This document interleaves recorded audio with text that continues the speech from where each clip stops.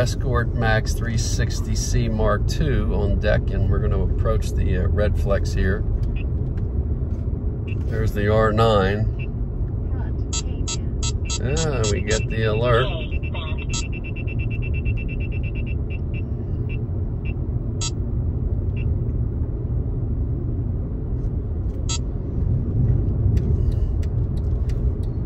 Okay, so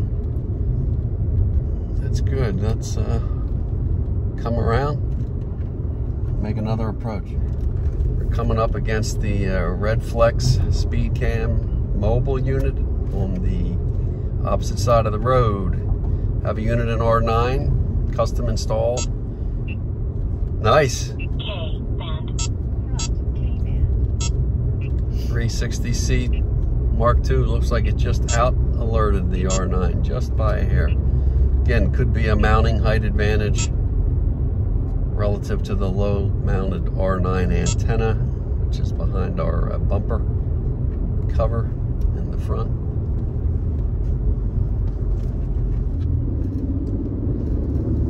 Okay, we're gonna make another pass with uh, a second Escort Max 360C Mark II that we have on these uh, runs.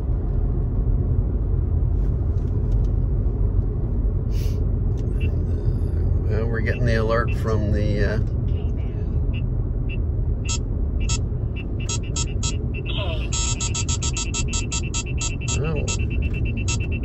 not much warning, but very difficult to detect, but consistently has picked it up. Not much time, but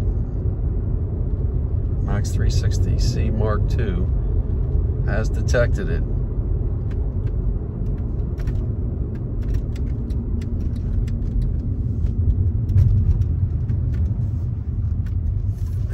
Pass.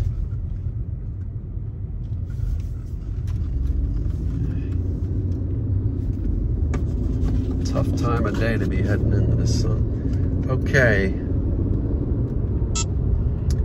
Nice. 24088. Very nice. And then the R9. So that's quite in the learning range here. That's good for the 360C Mark II. Like from this series, it, it outperformed, uh, this detector's outperforming the, uh, the MaxCam.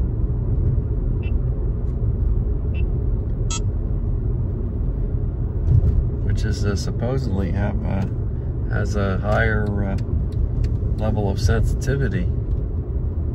But again, it could come down the software and filtering, signal processing, which could account for the differences.